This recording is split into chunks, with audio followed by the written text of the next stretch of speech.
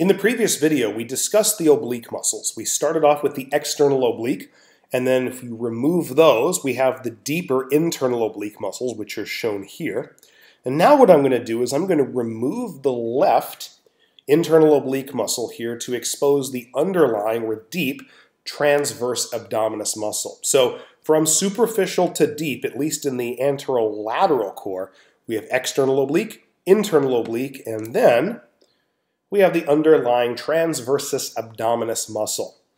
Now, when we talked about the external oblique, uh, remember that the fibers, as you went medially, uh, the fibers actually had a little bit of a downward orientation. With the internal oblique, as we go medially, the fibers seem to have kind of an upward orientation. And that's actually partly why they're called obliques, because they actually move at an oblique angle. But then notice with the transversus abdominis, it actually kind of gives it away in the name, transverse or horizontal. The fibers are all running horizontally. So in the center here, it's a little bit of a, dark, a lighter green color, but this is supposed to be the aponeurosis right here of the transversus abdominis. Right here is the arcuate line. So remember, above the arcuate line, we have both an anterior and posterior rectus sheath. This would actually be the posterior rectus sheath. The anterior would be in front of the rectus abdominis, so that's obviously not visible here. And then below the arcuate line, we would actually have just a rectus sheath, which lies anterior to the rectus abdominis muscle. And then off to the side laterally over here, this is the muscle belly of transversus abdominis. So let's get into that. We're now kind of looking at sort of a side view of this. Right here, you can't see it, but this would be where the linea alba is. And then coming off of that, we of course have the aponeurosis of the transversus abdominis muscle. Okay? And then over here is the muscle belly of the transversus abdominis muscle. So this is in the lateral abdominal wall, deep to the oblique muscles, and it is the deepest core muscle of any of them. If we look at the origins of this muscle, it originates from ribs 7 through 12, specifically the internal surfaces of the costal cartilages. You can actually see some of that origin right here. It also originates off of the thoracolumbar fascia, and that's going to be extremely important when we start talking about the clinical importance of this muscle. Um, all these muscles are important, but I would actually argue that clinically speaking, the core muscle that most people are going to need uh, understanding how to contract and strengthen is this one, the transversus abdominis, which is often abbreviated TRA. It also has origins off of the iliac crest, specifically the anterior two-thirds of it, uh, and then also on the iliopectineal arch. Okay, And this muscle is going to insert on the linea alba via this broad aponeurosis. Um, also, it's going to fuse with the aponeurosis of the internal oblique muscle. Uh, and then it also inserts on the pubic crest down here and the pectineal line of the pubis. Now for the actions of transversus abdominis, regardless of whether it's contracting bilaterally or unilaterally, it's going to tense on the linea alba during abdominal contraction. Now, knocking out the unilateral function first, it's going to facilitate ipsilateral trunk rotation. We don't normally think about it doing this, but it can. So if we wanted to facilitate left trunk rotation, we would need the action of the left transversus abdominis and more so of the left internal oblique and the right external oblique. Remember, the external oblique facilitates contralateral trunk rotation. And now for the bilateral contraction. This is what's important clinically. So, number one, this muscle, when contracted bilaterally, compresses the abdominal viscera during forced expiration and intense effort, like exercise, just like any of the core muscles do. And it also braces the spine and the abdominal contents during intense effort, especially with things like lifting. So if you have somebody who is lifting a heavy box from the floor, and especially if they're using poor mechanics, and especially if their core is weak, it makes it likely that they will not only hurt their back, but also develop a hernia. So this muscle especially really braces the abdominal viscera because it's closest to the viscera. It's the deepest muscle. And it has the best capacity to do that because its fibers run horizontally. Structure dictates function. If you ever have somebody who wears a lifting belt around their core, what orientation do the fibers of the lifting belt or the back brace, whatever you want to call it, what orientation do they have? Well, they run around horizontally. They are horizontal fibers, so to speak. I mean, they're synthetic, but they're horizontal fibers. This transversus abdominis muscle, this is your natural back brace. This is your natural corset, sometimes called the corset muscle. So, if you want to be able to lift a lot of weight without back pain and without risking a herniation, like an umbilical hernia or an inguinal hernia, this muscle has got to be strong. And it often gets weak simply by disuse, but also after lumbar surgeries. So, after lumbar surgeries and you're rehabbing someone with that, it's very important that, especially very early on, you address strengthening so I've had patients in the clinic when I was first starting out as a physical therapist that came in with low back pain and associated radiating sciatic symptoms down one of their legs.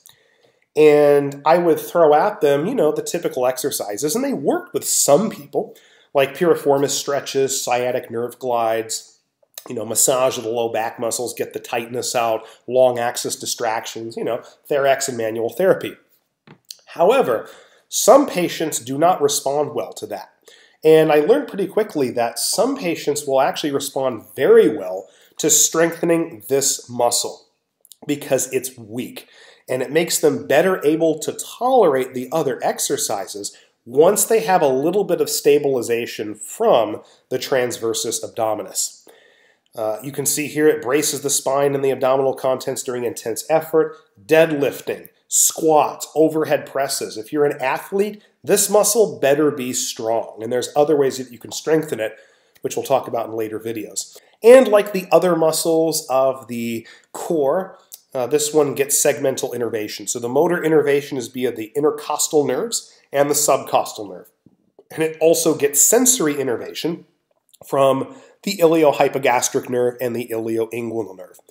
And then the blood supply is via the lower posterior intercostal and subcostal arteries, the superior and inferior epigastric arteries, the superficial and deep circumflex arteries, and the posterior lumbar arteries. Now, coming back to the actions of the transversus abdominis, we mentioned, of course, that it helps to brace the spine during intense effort, but it also helps to keep the vertebral canal open during that intense effort. So making sure that the vertebral canal doesn't essentially collapse inward or structures like the ligamentum flavum impinge on the spinal cord or if you go further down the cauda equina. So how does that work? Well, right here we have a cross section of the lumbar spine. So here's the vertebral body right here. Um, here's the psoas major, and here you've got the erector spinae muscles, and then right here's a bundle of muscles. Multifidus is probably in here somewhere as well. Uh, right here behind the vertebral body, you actually see uh, the canal for uh, the spinal cord. And if we went down far enough, it would be the cauda equina. Okay? And this is a pretty small space. We want to make sure that it doesn't get compressed or impinged, especially if you're Ronnie Coleman over here deadlifting some 800 pounds or something like that. So look over here at the lateral core wall. So superficially, we have the external oblique. We really don't care about that. In the middle, we have the internal oblique. Don't really care about that so much, although it does play a little bit of a role here. But notice here you've got the transversus abdominis muscle. Okay, If we follow the transversus abdominis from the front of its muscle belly all the way back, we see that it actually blends with the thoracolumbar fascia. This little white tissue right here, this is the thoracolumbar fascia. Remember, that's part of the origin of the transversus abdominis. As you follow the thoracolumbar fascia, right where my mouse is, that's an important structure called the lateral raphe. The lateral raphe is an important structure here, and it represents a division of the thoracolumbar fascia. So real quick, this muscle right here, this is the quadratus lumborum muscle. So if we look at the lateral raphe, it gives off a pretty large branch that goes anterior to the quadratus lumborum, and this would actually be the anterior thoracolumbar fascia. From the lateral raphe, another piece of it goes behind the quadratus lumborum, and then it again divides into a middle thoracolumbar fascia, which actually goes out to the transverse process in part of the vertebrae. And then it also gives off a posterior thoracolumbar fascia, which you can follow all the way behind these muscles, behind the erector spinae, all the way to the midline. And that's where we're going to kind of leave it there. Now, this is a situation where it's kind of like the foot bone's connected to the ankle bone, which is connected to the shin bone, which is connected to the knee, and so on and so forth. So if we take one structure and pull on it, it's going to take all the structures that are attached to that and pull on those. Okay? So the transversus abdominis muscle and technically some of the internal oblique, they're actually going to attach on this thoracolumbar fascia. The thoracolumbar fascia, if we go through the lateral raphe and the various divisions, particularly this posterior division, and go all the way back here, it's going to attach on the supraspinous ligaments. Remember, the supraspinous ligaments are ligaments that connect the various spinous processes, right? And then the supraspinous ligaments are also attached to the interspinous ligaments, which you can't see here. And then in turn, the interspinous ligaments are attached to the ligamentum flavum. Now recall that the ligamentum flavum actually exists within the vertebral canal. If you were deadlifting 800 pounds like this, or however much is an extremely high load to you as an individual, well, there's a good possibility that the spinal column, or really the vertebral canal, is going to lose a little bit. It's not going to close, but it's going to lose a little bit of its cross-sectional area. And the ligamentum flavum could actually move further into that vertebral canal and impinge on the nervous structures that are in there. We don't want that.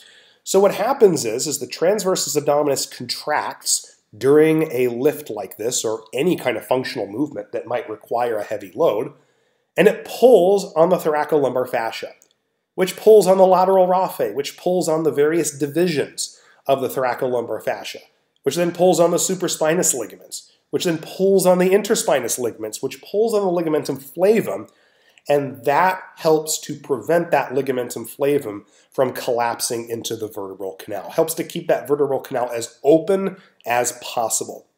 Additionally, the multifidus, which is likely in here somewhere, is also going to tense on the thoracolumbar fascia and pull it posteriorly. All in all, we're just trying to maintain spinal alignment and prevent collapse into the vertebral canal.